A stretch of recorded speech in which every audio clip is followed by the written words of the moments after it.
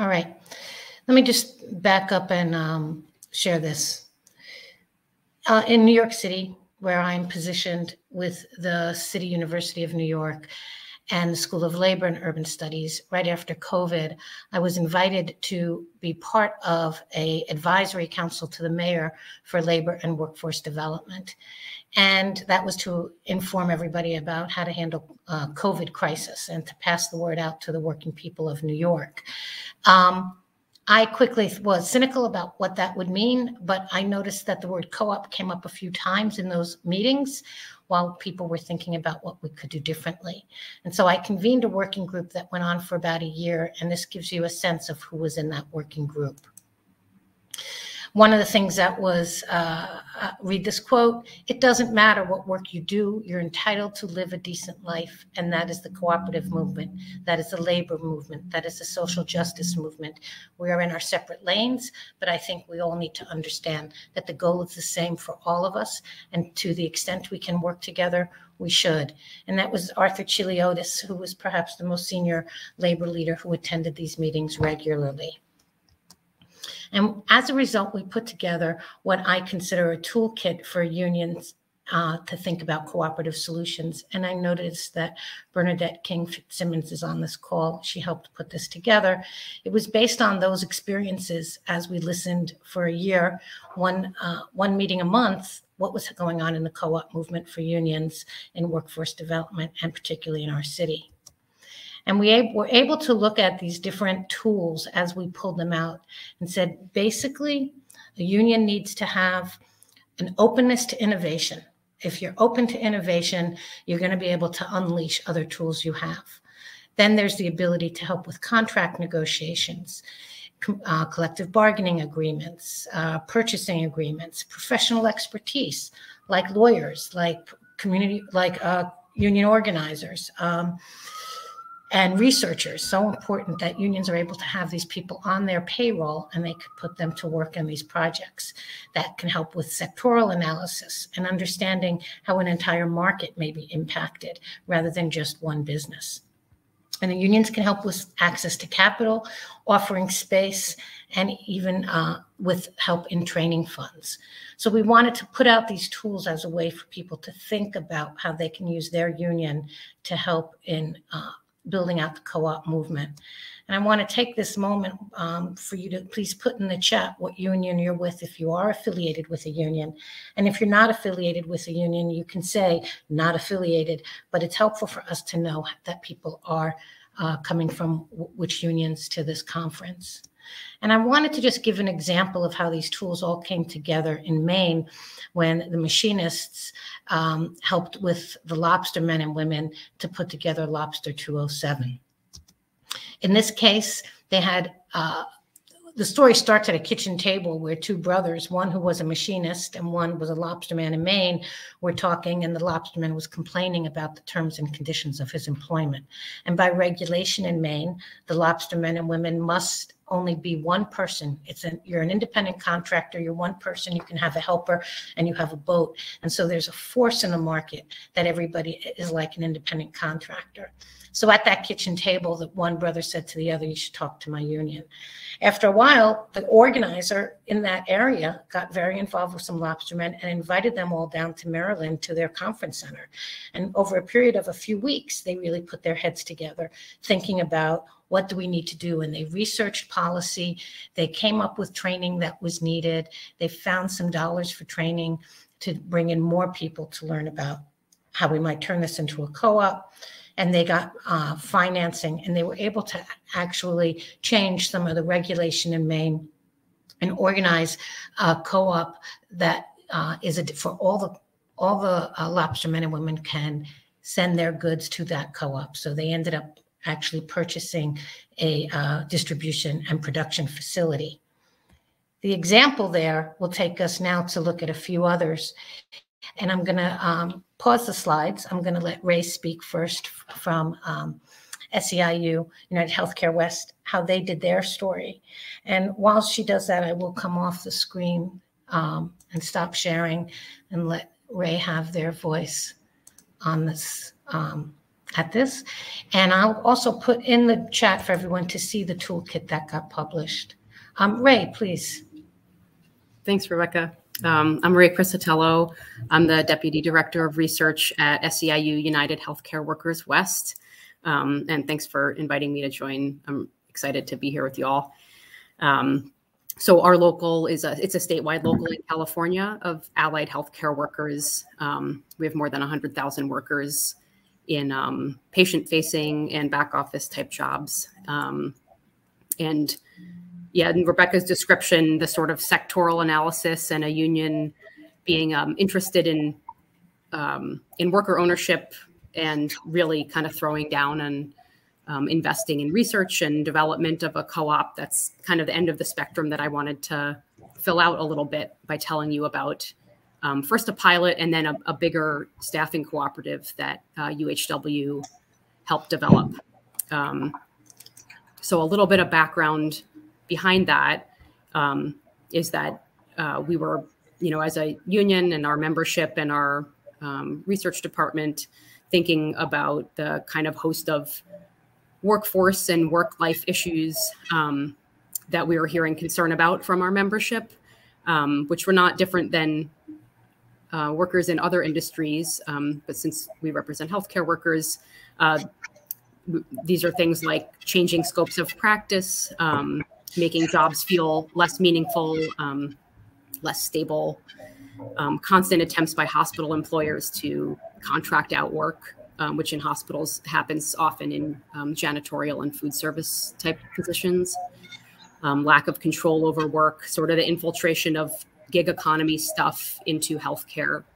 Um, so we, as a local um, and as a kind of research outfit, began looking at large scale systemic ways that we could not just um, re, you know help force proper classification of contract workers, which was part of this problem we were seeing, but to create um, an environment that would be more asset rich and benefit rich for healthcare workers um, wanting to have you know long careers with wage growth and um, things that we all want.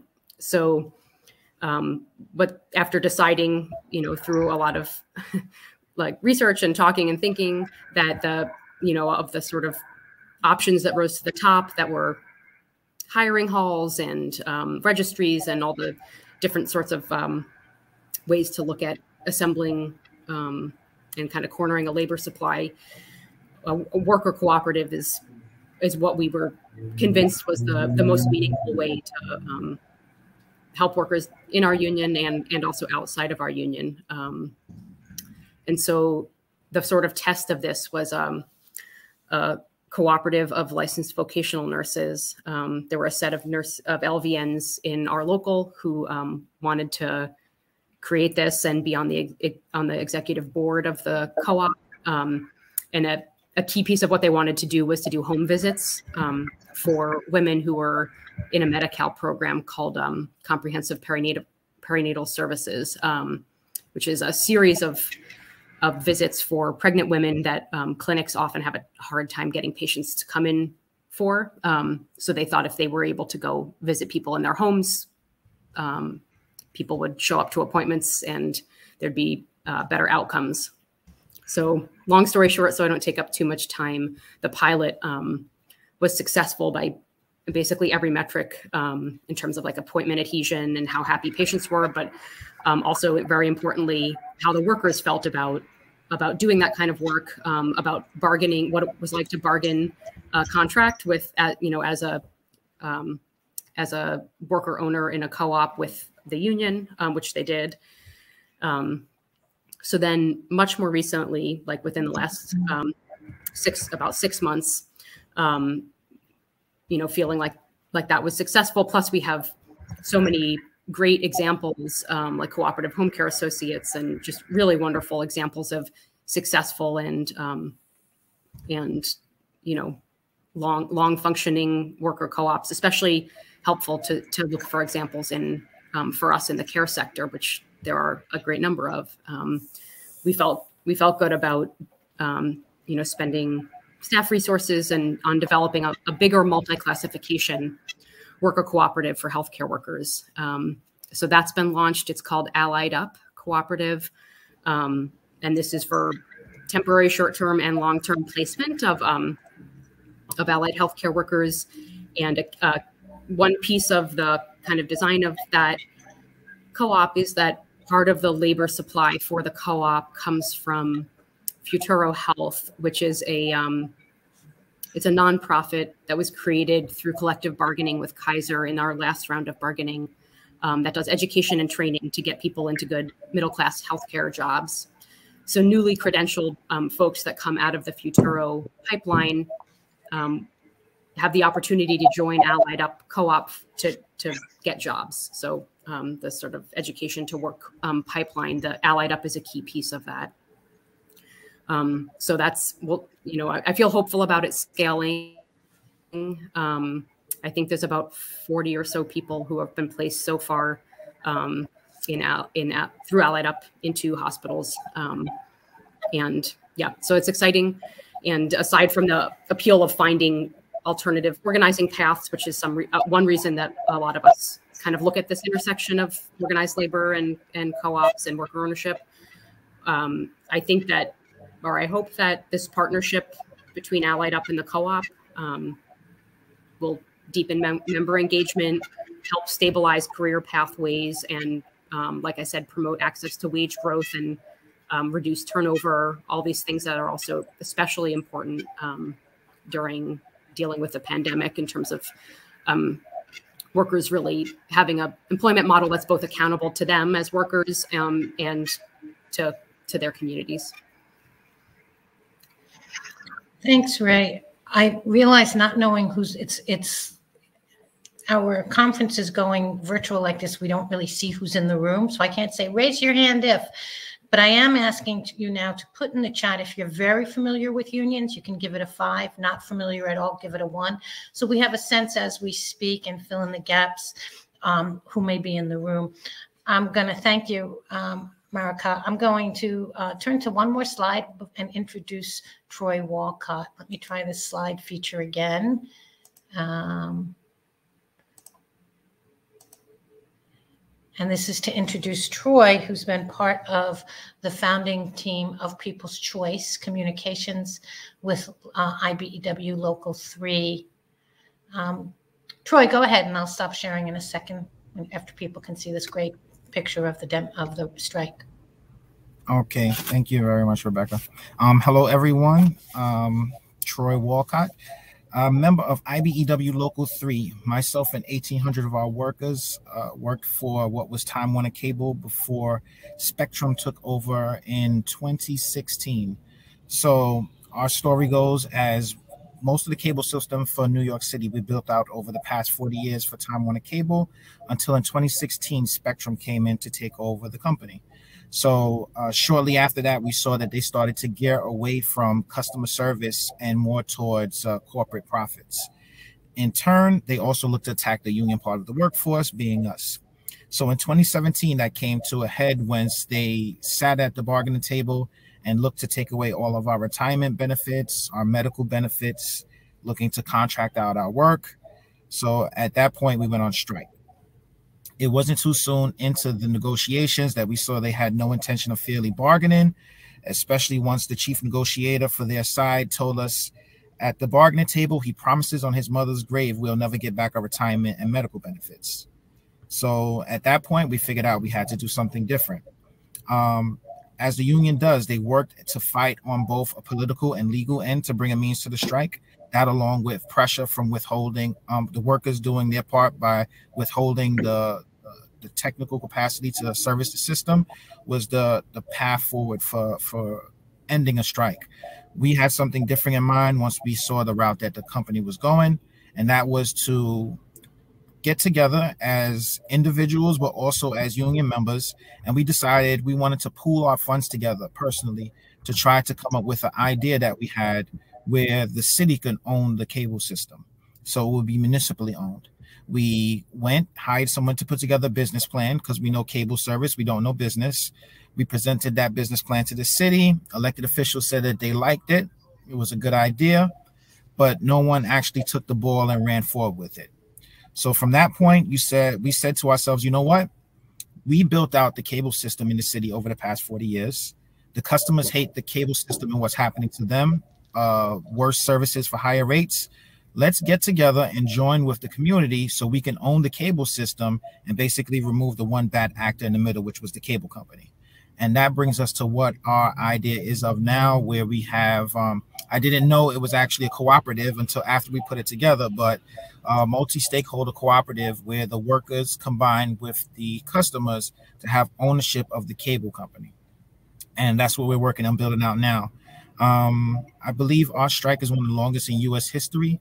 About the three year mark of that strike is when we were able to get philanthropic dollars in order to try to start the build out of our system.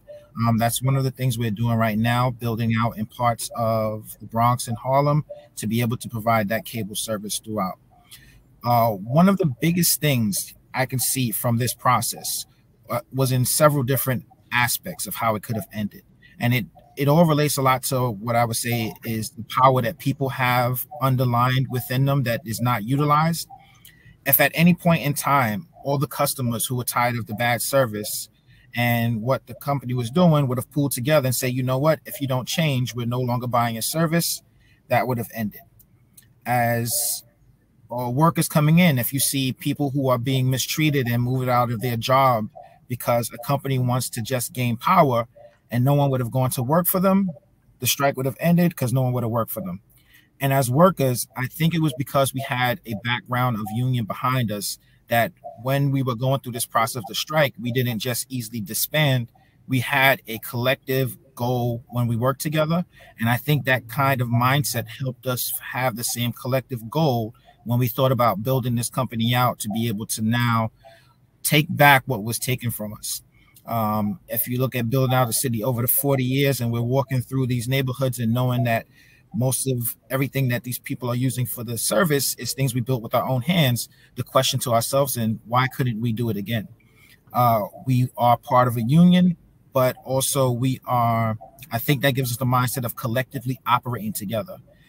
That harnessing of the people power in one collective group, I think, is what put us to the point where we are now.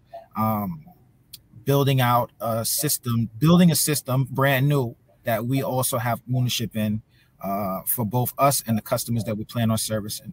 So we see we see this as taking this beyond this. It's not just about building the cable system. Um, some of the people that we're providing service to are people in supportive housing like NYCHA developments here in New York City.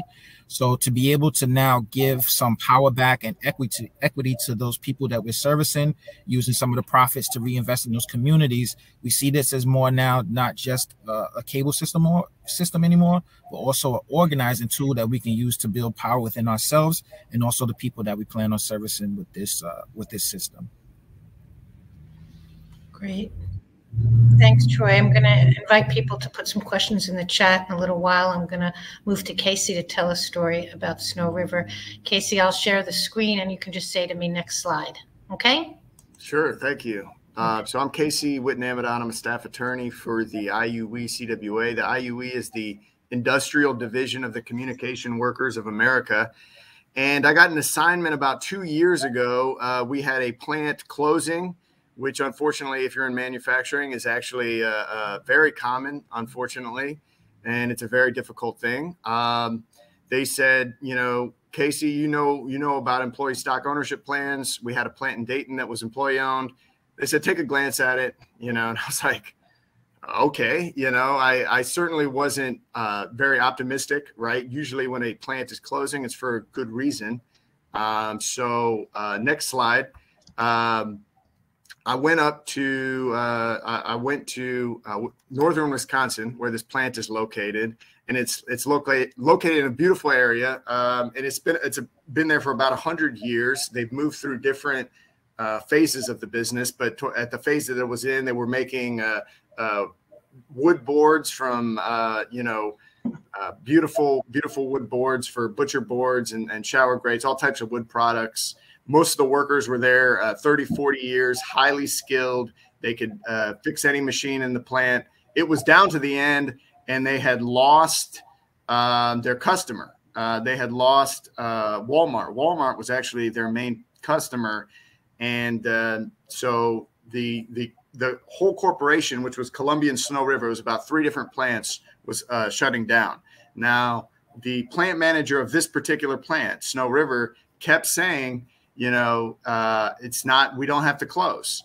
And uh, at first, I was very pessimistic, but we we sat down.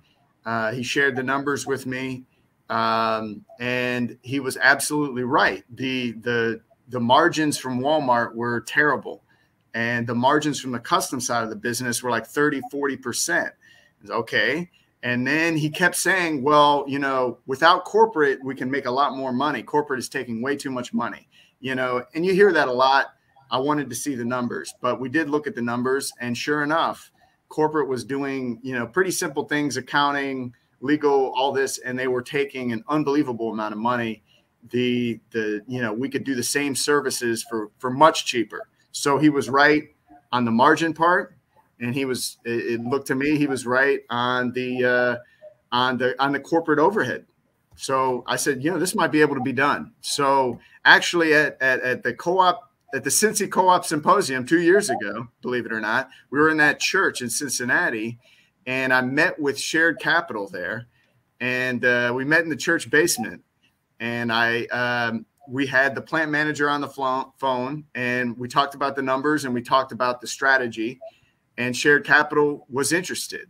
At that point the plant manager had a good enough relationship with the owner that we talked about buying the plant um, and then at that point after we had those pieces in place i called the local union because this is a pretty big local union and the local union actually provided the health insurance so that's another asset is that the union could provide the health insurance so I got together, and this is a large uh, amalgamated local, as they as they say. So they it's multiple plants. So the officers came up to Wisconsin. I came up to Wisconsin.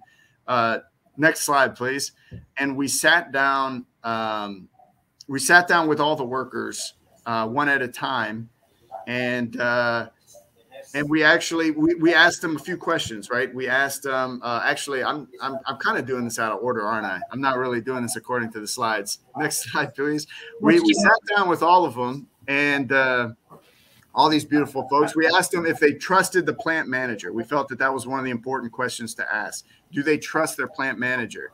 They all said yes that then we also asked them other questions you know this may be very difficult at first, right? You might face temporary layoffs. There might be wage cuts. They said, "Yeah, we're we're okay. We don't want to lose our jobs." They were all they were all in. They were very mature. Lisa's background. Mm-hmm. They were very uh, mature about it. I'm sorry, I didn't. Um, so they were very mature about it. I felt like they had a good head on their shoulders. They all knew what they were getting into. Um, so we um, we kept working. We brought in some some partners. Actually, I talked to uh, Co-op Dayton. Of course, Co-op Dayton is great people, and and they they were you know first of all they're from Dayton and they couldn't help up in Wisconsin, so they connected me to the uh, University of Wisconsin Center for Cooperatives.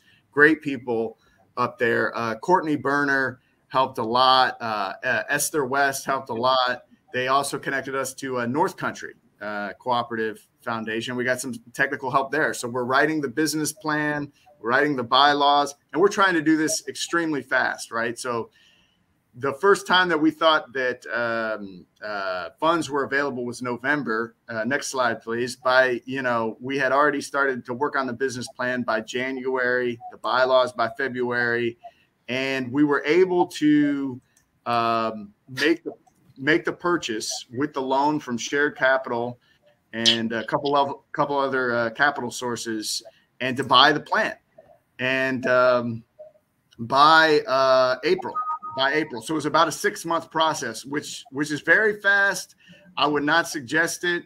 It was kind of hectic, but it was necessary, right? The it the plant was actually supposed to close at the end of 2019.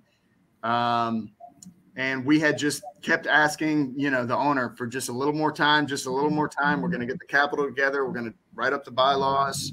So the good news is they bought the plant and 100% uh, so the business plan uh, you know shed a lot of costs from corporate and so on and so forth. The business plan said if we can make 1.5 million we can pay all our costs and that'll be great. And as, as all of you know, if you if you say you're going to make 1.5 million, you're probably going to make 1.2 million, right? You're probably going to make 1 million. But they were over 2 million before the end of the year. So they they were absolutely crushing it with the custom side of the business. And it and and uh, you know, they had actually went way down. They were paying parts of their health insurance and they were down to $15 an hour before the uh, closure of the business. But uh, we just negotiated a contract um, earlier this summer uh, in one day. Um, and we were able to get uh, $11 an hour increase up to 26. So that's about 70, 70%. Uh, so big raises and 100% of the insurance covered. Uh, one of the interesting things I think about this was to me, it really underlined the importance of the union cooperative rather than just a cooperative. And I'll tell you why. I became close friends with the plant manager, Brian Sinclair. I think he's a great guy. On the other hand, he is an entrepreneurial guy. He does. He is not necessarily like a, a Bernie supporter. He's not necessarily a union guy. You know, he's not a cooperative guy. He he went with the cooperative route because um, that was that was the only way to save his job, right? And um, he he had given himself a raise in between negotiations and the next year that the workers were kind of upset about. On the other hand, everybody was happy to have their jobs. Everybody was happy. So there was this weird aspect where the initial board was everybody, right? The initial board in the bylaws is all eight people. But even with that pure of a form of worker democracy, there was still a disparity of power. And this is one slide back. There was still a disparity of power between the um, the plant manager because of his charisma, because he had saved the plant, and because of his knowledge. And it still took the union as an outside party who was less wowed by the plant manager. You know, we're, you know, we think he did a great job turning this into a cooperative, but to kind of check his power a little bit. Um, and I think that's why, uh, you know, I guess as a as an analogy economically to the kind of the American system, it's important not just to have one branch of democracy, right? A lot of worker cooperatives they they essentially have one branch where that board of directors is the only democratic entity I think the union is extremely important as another balancing entity. And another reason I think that that's the case is because a cooperative on its own, they can almost think of themselves as just separate from the labor movement, separate from workers. We're just small business people over here in this little bubble of democracy. The problem with that is if they're in a highly competitive business, other businesses and their low labor costs are going to pull down the cooperative's ability to pay good wages and benefits. So I think that being a union cooperative connected to the larger movement is really important to both check the uh, isolating tendency of the cooperative, but also it's good for the union on the other hand because I think it's good to for the union to think big about yes, you know, we are an entity fighting for wages and benefits, but what, what's the larger purpose here, right? It's to empower workers, it's to increase economic democracy. So I just really think that the synergy there is huge. Um, I, it's you know we're not out of the woods. The the cooperative's doing great economically. The workers are doing much better economically. One of the things I'm worried about in rural Wisconsin is now that they're doing so well, you know, um, will they drop the union? That's a serious, serious um, issue. And all of them are very thankful. They're very thankful to me personally. They're very thankful to the other officers personally. They're very thankful to the union in general.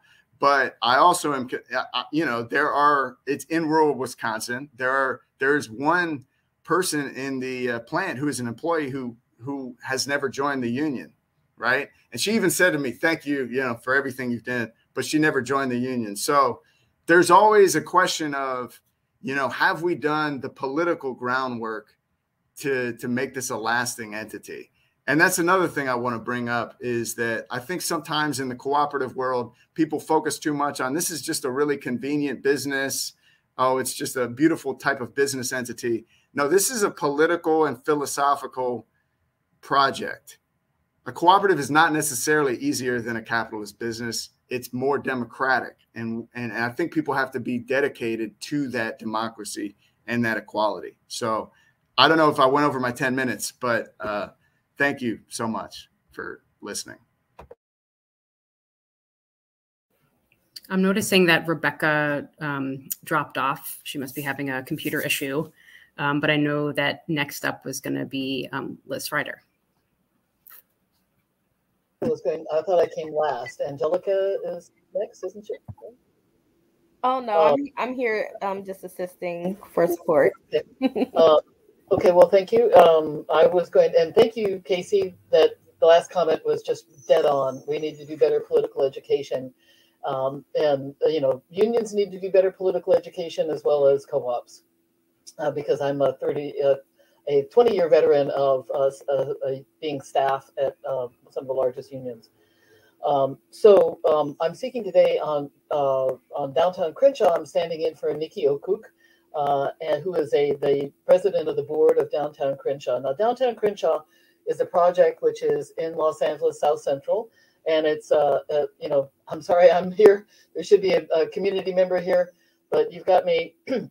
So it's a uh, you know a community which is one of the oldest african american communities the site of um, of um, of the mississippi and it's uh, you know was historically and culturally extremely important uh, and uh, being gentrified out of existence um, and so you have this profiteering in uh, Los Angeles real estate, and then homelessness, you know, growing uh, at, at, dramatic rates in Los Angeles. And uh, downtown Crenshaw is a project that is attempting to get right smack in the middle of that and stop the gentrification. Um, and so they, they started off by creating a, a community land trust.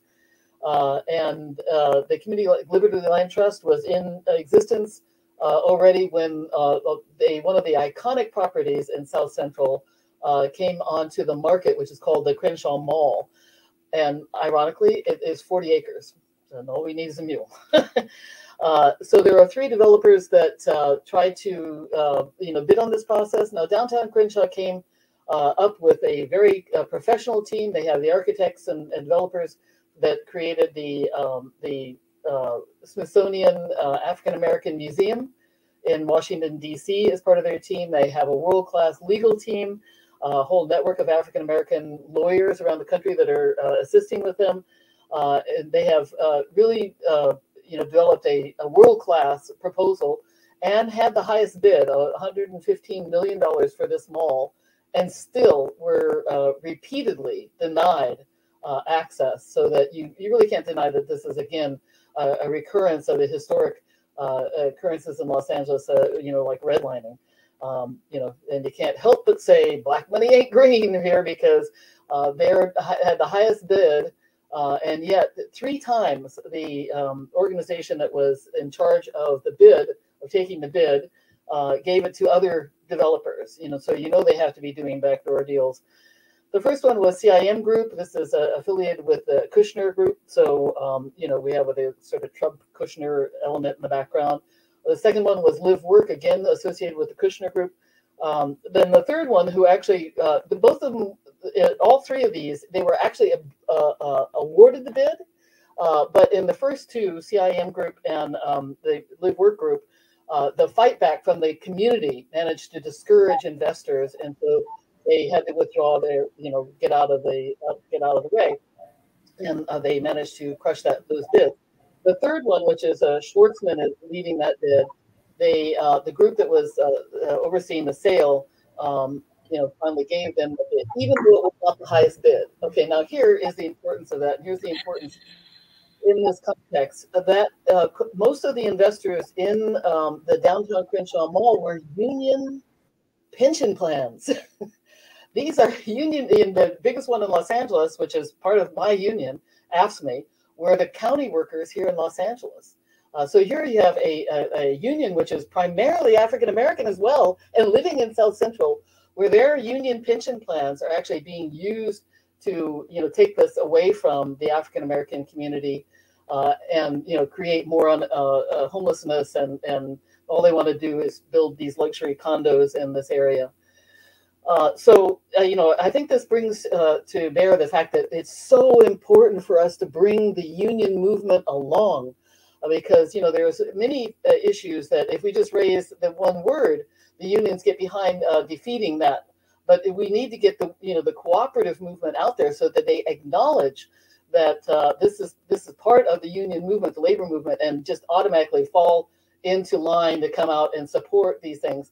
The the local union here uh, did send letters and whatnot, uh, but you know we needed more from it. There are other union pension plans, things like you know the fire department in Detroit, and it was a whole consortium of union pension plans and other investors. But the biggest block were union pension plans. But the the sale was being represented by an organization called Capri, and uh, Deutsche Bank was acting as the bro- broker. So Deutsche Bank, I don't know if you know about Deutsche Bank, but it's you know douche bank we call it because it's just behind some of the worst uh, you know, sorry about that national context, but that's our nickname. Um, so the um, you know they moved ahead to give it to uh, you know uh, give the bid to Schwartzman, even who was backed by a Russian investor who is the richest man in the UK, whose name I'm sorry I can't remember or pronounce, but you know you can look him up.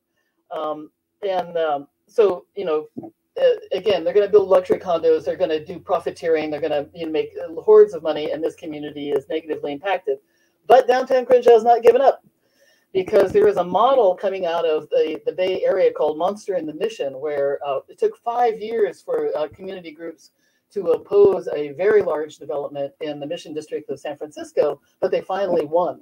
So uh, now downtown Crenshaw has gone into the mode of now uh, organizing against the approvals and permissions that are required to move the development forward in this mall and um, are going to, um, you know, spend the next five years, obviously, uh, opposing all that at every level of, of city and county government. Um, the, but you know the uh, downtown Crenshaw is not stopping there because again they started with the community land trust uh, before the mall came onto the market, and now they're continuing with that uh, community land trust to create cooperative housing, and they're buying both commercial and residential spaces in South Central. Uh, they're in escrow. They've already bought a couple of residential. They're in escrow on about four commercial properties in South Central, and that brings us to what we're doing about worker cooperatives. They they want to create Mondragon in South Central uh, both with cooperative housing and with cooperative businesses and to place into those commercial properties. Because you know they want to create they want to stabilize uh, locally owned you know black owned businesses in south central. Uh, and um, the my group which is WORCS worker ownership resources and cooperative services and LUCI los angeles union cooperative initiative is assisting with uh, creating a development group that will create multiple cooperatives to fill those spaces in South Central. Uh, so uh, we're starting with, um, we've invited kind of the, the, strategy. We want to be very strategic because we want these things to succeed. And so what we've been doing is looking at inviting in other development groups from around the country that have successfully created networks of worker cooperatives around the country and invite them into South Central uh, at least the ones that are, you know, have a, a, a cooperative model that is uh, reflects a need to the uh, community. So our first project has to do with creating a uh, bakery, which is we're inviting uh, Arizmendi, and we're just about to put in our proposal into the Arizmendi group to have them come in and recreate an, the Arizmendi bakery in, in South Central Los Angeles, but also invite in their network. So one of the things which really leads to success in these situations is uh, excuse me, is um, you know a, a, support network. So you don't just create uh, a cooperative and abandon it, but you you create a network that then co- con- continues to support um, the cooperative through its uh, by providing business services and and professional services. Uh, and that's uh, what WORCS is attempting to create right now. Uh, and we've been doing this for about a year, so we're fairly far down the uh, down the road. Um, let's see, they've been very successful in terms of their fundraising uh, downtown Crenshaw. They actually, many of the um, sort of uh, very large funders um, to the amount of some $48 million, you know, because many of the um, the funders that were giving money to downtown Crenshaw were uh, basically saying, look, we recognize reparations need to happen here. Let me let me start here. Uh, and they, after the, the sale of the, the bid was accepted by um, the Schwarzman Group, uh, downtown Crenshaw went back to all of their funders and said, well, would you, you know, we, the bid has been uh, given to somebody else. You know, do you want your money back or would you like to um, uh, keep it in the group and we're going to do these other things, such as buying residential and commercial properties in South Central to try to make the, to stop gentrification. And most of them said yes. So they have about $40 million that they are uh, putting forth into this residential and commercial spaces uh, in South Central to try to stop gentrification and grow essentially an ecosystem replicating uh, Mondragon uh, in South Central Los Angeles. Did I hit that I, th I think you're good, Liz. Can you hear me? Yep. Can I be heard? I was thrown off. Um, yeah. it is what it is. Um, I think we got to your last slide, Casey, when I got thrown off. So people might have seen the victory slide. Um, and there was a, a, slide for you. I'm not going to play with. Oh, we lost Liz now. I guess she. and I hope Rhonda can hear. Um, I'm sorry we lost you, Liz. This is a you know the age we're in without good internet service, Troy. Um, I, I, wanted to sort of invite us to talk more about this notion of small, one company at a time and strategic thinking of a sector and a region. And the region conversation really shows up in what Liz was just sharing, but it also shows up in Mondragon and it shows up here in Co-op Cincy and Co-op Dayton and Preston, the Preston model in the UK. But I wanted to really, I noticed that Phil Amadon was on uh, in the chat at least earlier, and he was, I think, as I got it like 20 years ago on a trip to Mondragon with other people in the union movement in this region and came back with this idea and it takes time. So and part of that time is the legacy of his son now in a un, you know in a position of leadership in a union to make this happen that you know and sometimes we just grab the time we're in which Troy did even though they've been on strike for four years two years in they like grabbed the opportunity so a combination of grabbing an opportunity and the and, and the long game that also is a broad game where the union can play. I want to ask anyone in the room to speak to that. Ray, I know that with SEIU in a couple different locations that's been um, active, and I see Liz is going to be able to come back in. Maybe. Sorry. Hi, Liz. I was just inviting us to talk about the micro and the macro conversation of one union, one company at a time. Um, and or uh, the capacity of really thinking strategically, geographically, or in a sector, and what that can do when we have lots of unions play, like in Co-op Cincy, like in Preston model, like the vision for um, Crenshaw. Anyone want to jump in on that? Yeah, I can. Um, just from the perspective of trying at least to have a more in industrial or sectoral view of um, how we would help develop co-ops. Um, I mean, part of that is, I guess, maybe risk tolerance um, because there's there is an investment in a lot of ways in developing, um, you know, developing a co-op from the union perspective that you. I mean, you don't know if if the workers ultimately are going to unionize. So thinking of it formally as an organizing tactic isn't doesn't really it's not totally linear um, but from a much more macro perspective like rebecca started out with about the kind of common shared values um, that are that worker ownership and organized labor share it feels like absolutely the the thing to do um, and so that that is the perspective we tried to come back to. I, I, mean, I suppose it's helpful that we're a statewide local. So we generally think of things in terms of like large healthcare systems in California.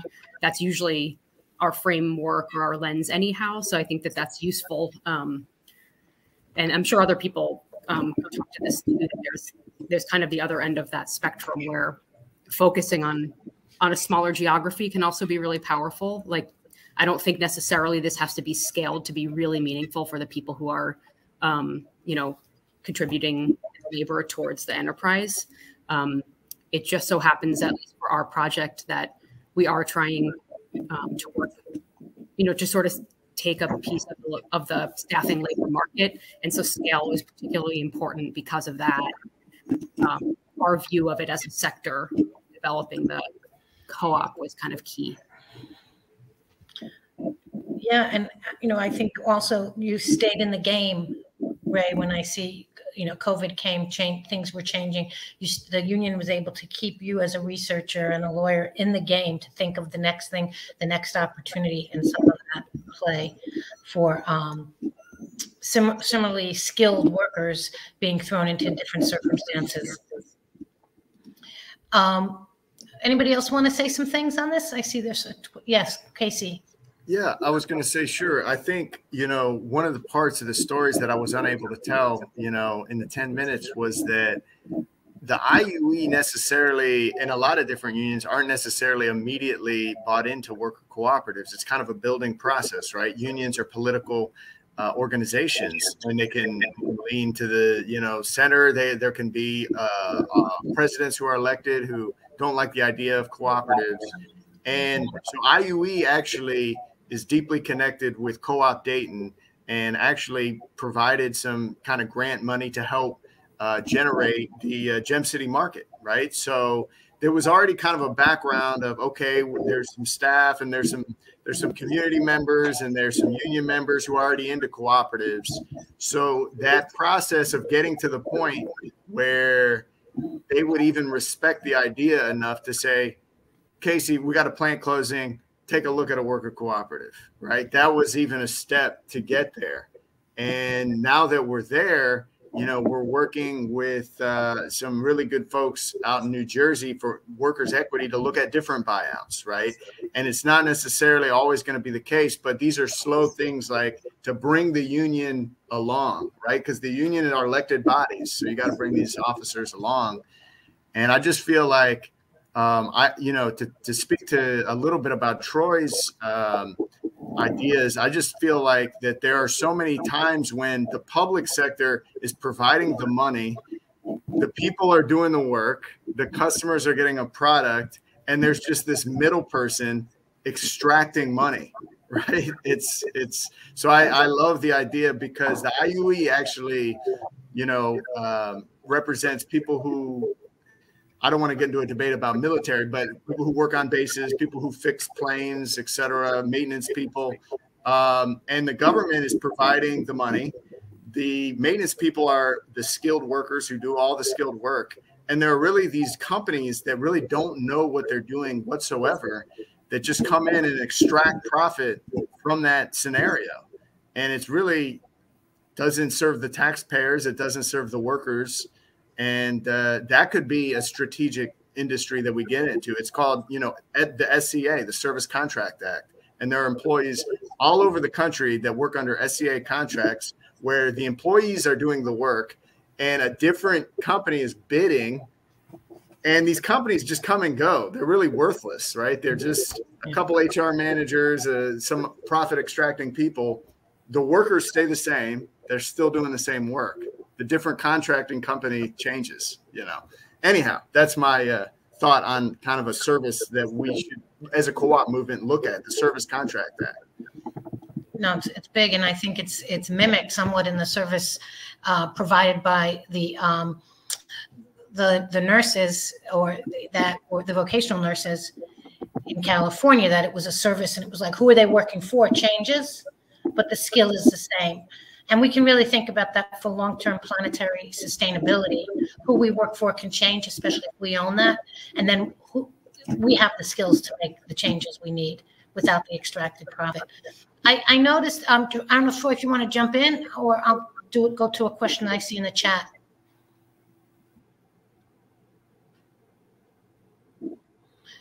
So did you want to say, add something, Troy, or go to a question in the chat? Oh, Liz, okay. Troy, Troy, Liz, and then I'll do the question from John McNamara. Well, I just wanted to ask everybody on this uh, call to please consider joining the Union Co-op Council of the U.S. Federation of Worker Cooperatives. We have multiple task forces working on issues to, you know, again, bring the labor movement up to speed on uh, the worker cooperative community and what it means to the labor movement. We have the case study task force. We've identified over 30 union worker cooperatives not all of them currently even in business, but you know, even those ones that have gone out of business have valuable lessons. And so we want to document these over 30 union worker cooperative projects so that it's available to the labor movement uh, to understand what worked, what didn't work.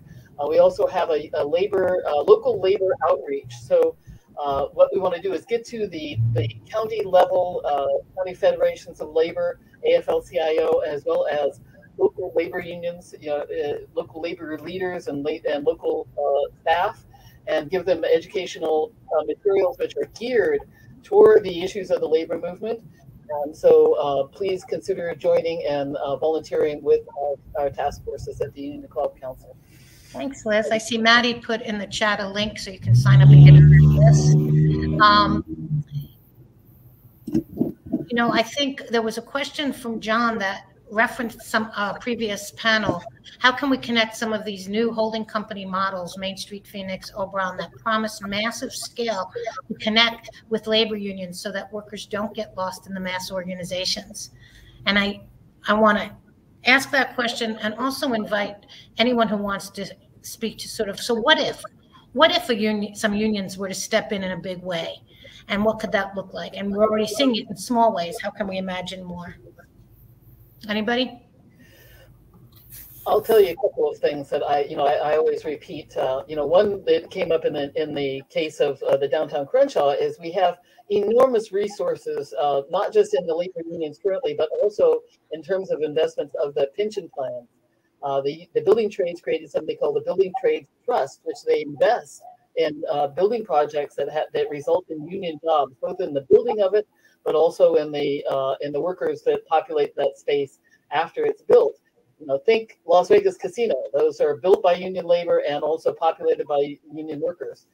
Uh, but also, you know, the um, the other uh, way is the lobbying. You know, especially public sector unions. I was a retiree. I am a retiree from AFSCME and SEIU. So these are these are lobbying giants. We want to be working with lobbying giants uh, to lobby for what you know is good for workers, which includes worker cooperatives. We need to get that on their their radar to be able to you know, advocate for a Marcora law, law in, you know, the United States.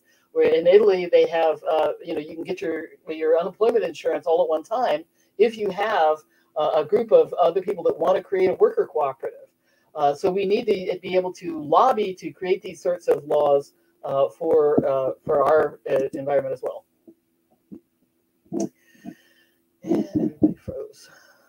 I think. Oh, uh, I think Rebecca is frozen, so um, would take over being chair? Oh, is Rebecca come back? No, I was just going to say. Um, so I think we have a couple questions here. Uh, there was one question: How can we connect some of these new holding company models that promise massive scale to connect with labor unions so workers don't get lost in mass organizations?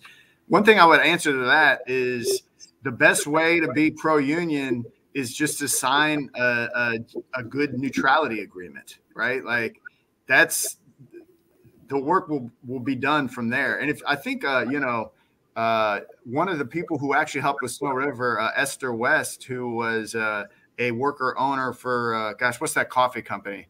I'm trying to think of it. Uh, it's not coming to me, but it was a worker cooperative without union, and and she has a very interesting take that that kind of agrees with my point of view, which is that sometimes a worker cooperative is not enough. Sometimes that board of directors can be a little bit, uh, you know, dictatorial, and it's better to have a multi, multi uh, uh, branch worker democracy, I guess you could say. You know, one to check the other. So I, I do think the best way to get some of these larger company models on uh, is sign a neutrality agreement. You know. Well, and then we also want to get uh, first right of refusal language into every contract in the United States so that workers, when their contract is being re- renegotiated, they include language that says they, the workers have a, the first right of refusal to purchase that, that company if um, that company is being sold. And that will result in many more worker cooperatives and much more uh, local control of the economy. Yeah, I would also just add to bring unions in early. I think you know sometimes there's a tendency to sort of develop something in a bit of a vacuum and then even even if it's uh, kind of pro union enterprise to bring the union in later and i'd advocate that talking to the union early can be really helpful um, getting insight from of course the union members and design questions bylaws questions um, that can all be really useful relationally too I agree with that. Part of what we went through is our process through the entire way. The union was with us because it converted from a strike towards our efforts to building this out. But having them uh, actually know what was going on as we were building towards this did help at the point where we were ready to launch and move forward and start building out as they were able to lend resources resources to us to try to now expand and go further especially now um, we are finishing up like now uh, this is what 1200 unit development with a couple more on the way 4200 units. Now to be able to scale at the capacity we need be able to rely on the union to be able to be that force behind us helps add to that and give us uh you know some more power behind our efforts. I want to apologize. I got bounced again. I hope everybody got something out of this. Um, what a time we're in. But thank you, everybody, for sharing your stories and helping us forward some case studies and think about how to influence our unions, which I am constantly reminded when I think of people of choice. We are the union. If our leadership doesn't lead in this regard, let them get out of the way and we will take up leadership. I want to thank you for that inspiration, Troy. Reminds me of my union carpenter. Leader out of the way, and I think we can. So I um, we're supposed to end up at this time, but people want to say a few minutes before they shut the door, we can do. Um, I just want to say thank you to everyone. Right now, for us to be at the point where we were to where we are right now is even to be here sitting and just talking about our story is incredible. So um, thank you for having me on. Hopefully there's more good things to come behind what we're doing as we push through this. But and it's also great to hear everybody's stories to know that what we're doing is part of a much larger movement that's happening in different places over and over again. So thank you. Thanks, Troy. I totally agree. It's it's inspiring to to be on this panel with you guys. I'm really happy happy to be. Casey, thanks so much for. I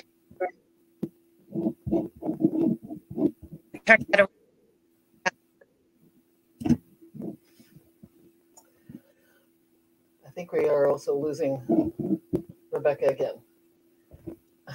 I think I'm here. I'm on my phone, but I think we're all supposed to uh, take a few minutes and then at the 45 minute go back for wind day. Uh, my last slide, which we didn't get to use because enough technology was uh, ready, but was really sort of saying, so what would you do? Which of these tools do you take the box and put to work? And I looking, looking at tools, trying to get unions to um, dedicate some uh, thought partner and leaders. You know, Casey, you were able to do this. Uh, again, shout out to your father, Phil, for sort of bringing me in a while ago. And I appreciate the thought of the long game. Time to up our game. So, thanks, everybody. Shout out to Phil. Hey, how you doing? We should talk.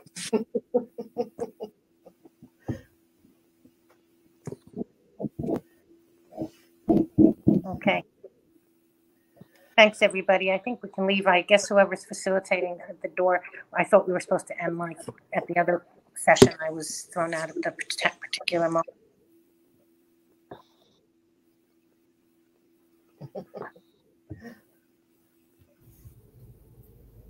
All right. Thank you, everyone. Thank you, Troy. All right. Have a good one. Thank Thanks, you, Rebecca. Elizabeth, for being so. Take care. Bye bye.